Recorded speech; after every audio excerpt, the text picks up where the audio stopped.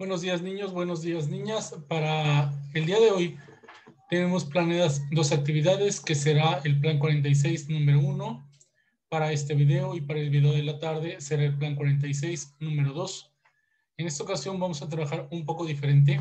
No voy a resolver como tal el problema. En este punto quiero ver quién tiene la capacidad de buscar información, de analizar eh, dicha información y poder llegar al resultado que nos están pidiendo.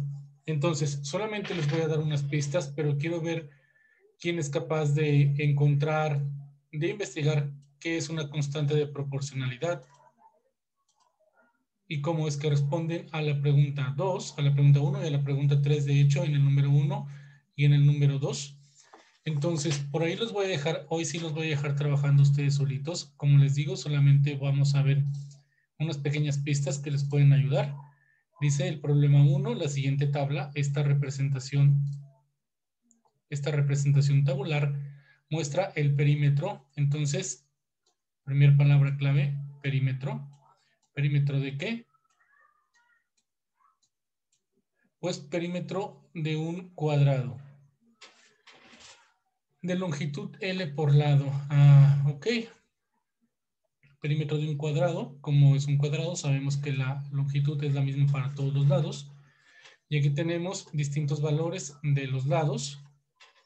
Entonces, eh, lo que tenemos que completar es esta tabla. ¿A cuánto equivale el perímetro dado un lado de 2, de 6, de 8?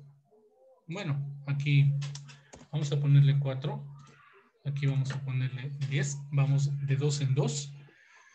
¿Y qué nos dice la fórmula del perímetro? Bueno, ustedes averigüenla. Entonces, una pista.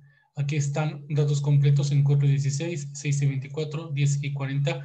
Con eso se pueden guiar para utilizar la fórmula del perímetro. Después van a investigar qué significa una constante de proporcionalidad y van a escribir qué fue lo que hicieron para encontrar esa constante de proporcionalidad.